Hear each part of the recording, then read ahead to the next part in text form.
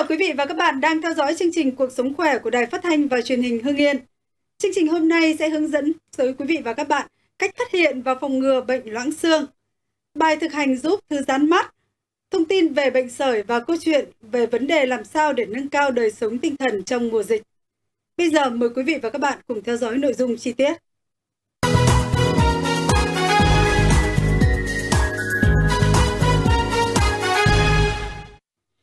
Việc triển khai học trực tuyến cho học sinh các cấp đã, đang và có thể sẽ phải tiếp tục trong thời gian tới để đảm bảo công tác phòng chống dịch COVID-19. Trong hoàn cảnh như thế, việc sử dụng máy tính nhiều sẽ ảnh hưởng không ít đến đôi mắt. Bài thực hành thư giãn mắt khi học online do điều dưỡng Nguyễn Thị Vân Anh, nhân viên y tế trường phổ thông liên cấp Edison Hưng Yên hướng dẫn ngay sau đây sẽ giúp cho sức khỏe đôi mắt của cả thầy và trò khi học online. Chúng mình bắt đầu nào. Bài tập đầu tiên, nhắm mắt lại trong vòng 5 giây rồi mở mắt ra để thư giãn. Chúng ta lặp lại động tác 5 lần nhé. Bài tập thứ hai, đưa ngón trỏ lên ngang tầm mắt, giữa hai mắt, nhìn tập trung vào đầu ngón tay và di chuyển chậm chậm từ gần đến xa. Lặp lại động tác 5 lần. Bài tập thứ ba, nhắm nhẹ mắt, dùng ngón trỏ và ngón giữa đặt lên mi trên và mi dưới. Nhẹ nhàng từ đầu mắt tới đuôi mắt Động tác này chúng mình lặp lại từ 6 đến 8 lần.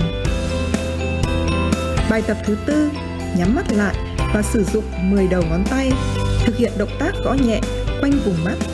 Động tác này chúng mình thực hiện 10 lần. Bài tập cuối cùng, xoa ấm hai lòng bàn tay, sau đó nhắm mắt và khum lòng bàn tay đặt nhẹ lên để cho mắt cảm nhận được hơi ấm. Chúng mình sẽ thư giãn bằng cách hít thật sâu và thở đều 5 lần. Các con hãy làm hàng ngày để giữ đôi mắt được khỏe mạnh nhé.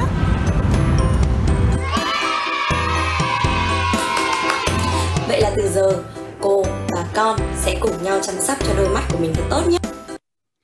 Loãng xương là bệnh lý làm cho xương bị yếu và giòn. Bệnh nhân dễ bị gãy xương khi có chấn thương nhẹ hoặc bị ngã. Hậu quả gãy xương là khá nặng nề vì xương bị loãng rất lâu liền, bệnh nhân phải nằm lâu, rất dễ bị viêm phổi và loét lưng, mông. Trong chương trình Cuộc sống khỏe ngày hôm nay, bác sĩ chuyên khoa 1 Nguyễn Thị Hoa, trưởng khoa nội tổng hợp Bệnh viện Đa khoa Phố Nối sẽ giới thiệu đến quý vị và các bạn cách phát hiện và phòng ngừa loãng xương. Xin chào quý vị khán giả. À, sau đây tôi xin giới thiệu với à, quý vị về bệnh loãng xương. À, loãng xương là tình trạng rối loạn à, chuyển hóa xương và gây ra tình trạng mà tổn thương về độ chắc của xương và ờ, dễ dẫn đến gãy xương. Về nguyên nhân và các cái yếu tố nguy cơ gây bệnh loãng xương thì À, thứ nhất là do cái tế bào tạo xương nó giảm hoạt động là do bị lão hóa do tuổi cao thứ hai là do cái um, canxi uh, hấp thu của ruột bị kém tức là có thể là do mình chế độ ăn uống thiếu canxi uh, và các cái chế độ sinh hoạt tức là lối sống giảm ờ, hoạt động và lười hoạt động, lười vận động về cái ờ, nguyên nhân mà có gây ra loãng xương thì có thể nói đến là do sự suy giảm nội tiết tố suy dục kể cả nam và nữ. Tức là những cái hội chứng mà suy buồng trứng sớm hoặc là suy tinh hoàn sớm nó cũng có thể gây ra tình trạng loãng xương.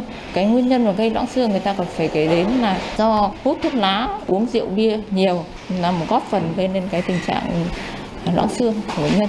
Để ngăn ngừa bệnh loãng xương như nói ở trên về cái nguyên nhân mà gây loãng xương ấy, thì chúng ta, thứ nhất là cái lối sống chúng ta có thể phải thay đổi lối sống. Thứ nhất là à, tăng hoạt động, tập thể dục, nên tập thể dục khoảng 30 phút một ngày.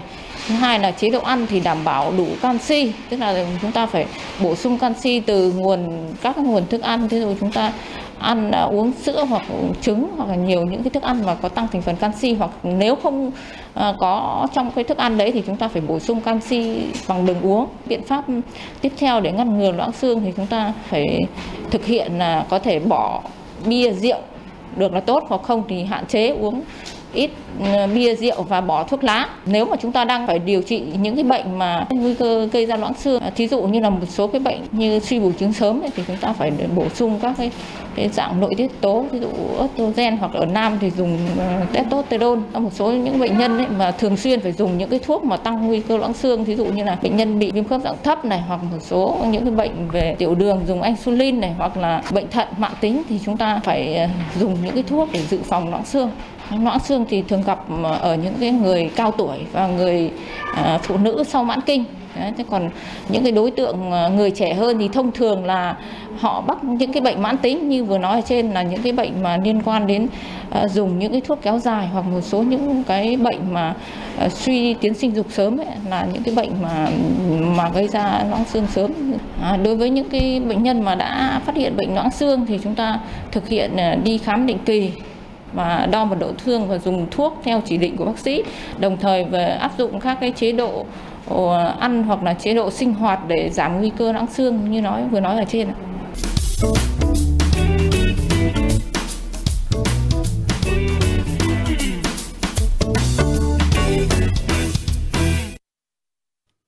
Bệnh sởi do virus sởi gây ra, đây là bệnh lây truyền qua đường hô hấp nên rất dễ lan truyền ra xung quanh. Nếu không được kiểm soát kịp thời, dịch sởi bùng phát có thể gây ra những hậu quả vô cùng nghiêm trọng, đặc biệt là đối với trẻ nhỏ. Vậy triệu chứng của sởi là gì? Cách chăm sóc trẻ như thế nào và làm sao để phòng tránh được bệnh sởi? Mời quý vị và các bạn cùng đến với những chia sẻ từ bác sĩ chuyên khoa 1 Nguyễn Thị Nga, Phó trưởng khoa nội nhi Bệnh viện Sản Nhi Hưng Yên. Xin bác sĩ cho biết là biến chứng của bệnh sởi thì ảnh hưởng đến sức khỏe của trẻ như thế nào ạ? Như chúng ta đã biết thì sởi nó là một bệnh truyền nhiễm cấp tính do virus sởi gây ra. Và đặc biệt đối với những trẻ dưới 5 tuổi thì sởi có thể gây ra những cái biến chứng khá nặng nề.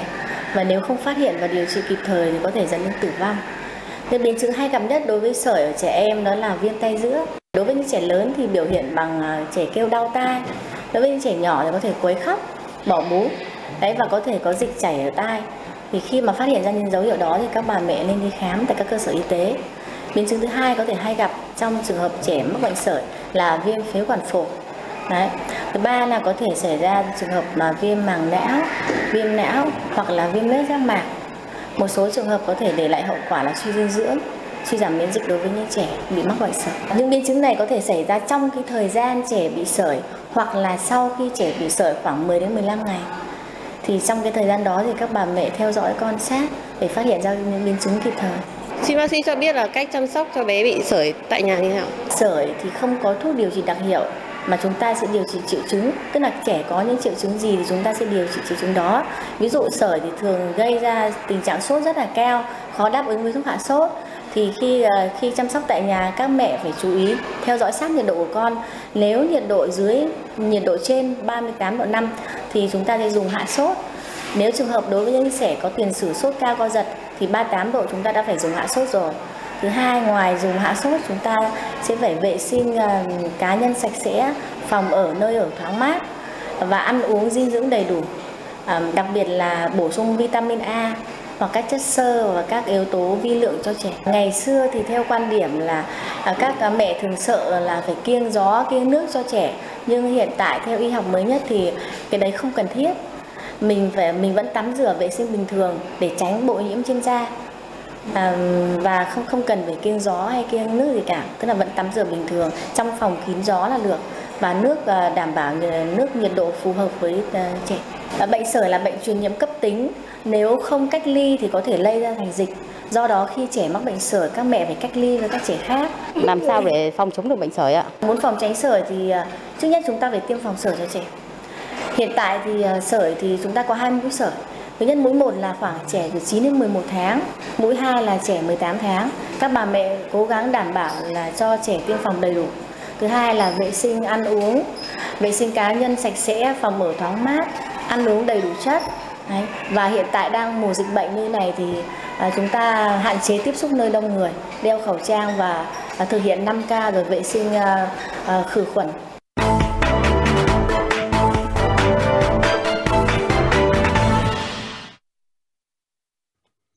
Dịch bệnh COVID-19 diễn biến phức tạp đã khiến cho nhịp sống bình thường của nhiều gia đình bị đảo lộn. Việc phải sống trong vùng phong tỏa, công việc học tập đình trệ, áp lực tài chính dẫn đến tâm trạng bi quan, chán nản. Vì vậy, mỗi người cần phải rèn luyện cho mình thói quen sinh hoạt lành mạnh, lối suy nghĩ tích cực để nâng cao đời sống tinh thần trong mùa dịch. Gia đình chị Nguyễn Thị Huệ nằm trong vùng phong tỏa ở thôn Bắc Nam Phú, xã Thọ Vinh, huyện Kim Động. Nhịp sống hàng ngày bị đảo lộn hoàn toàn Tuy nhiên, chị vẫn cố gắng duy trì nếp sống lành mạnh cho gia đình. Cứ 6 giờ sáng, các thành viên cùng nhau dậy tập thể dục, cùng ăn sáng và trò chuyện. Chị coi đây là dịp để mọi người có nhiều thời gian dành cho nhau mà lúc trước cuộc sống quá tất bật khiến chị lãng quên. Chúng tôi đang ở cái vùng dịch bị phong tỏa, đời sống xáo trộn nhiều lắm cơ. Thế nhưng mà tôi cũng yêu cầu gia đình tôi là dậy sớm này, tập thể dục này, nấu ăn sáng cùng nhau này. Tôi có hai cô con gái nhưng mà cháu đi học ở xa. Dịch bệnh này cháu cũng về, mẹ con cùng nhau tâm sự, nấu ăn cùng nhau, rất là vui vẻ. Chị Nguyễn Thị Ngọc Hà, phường Phùng Trí Kiên, thị xã Mỹ Hào, tranh thủ thời gian nghỉ dịch ở nhà để dạy con thêm nhiều kỹ năng sống.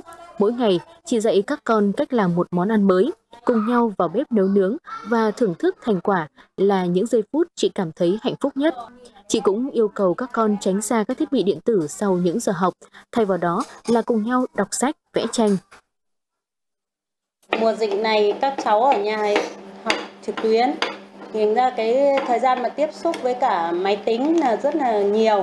Chúng tôi ở nhà chúng tôi cũng tạo các công việc để cho các con làm việc và thấy vui vẻ hơn để tránh xa với các thiết bị điện tử.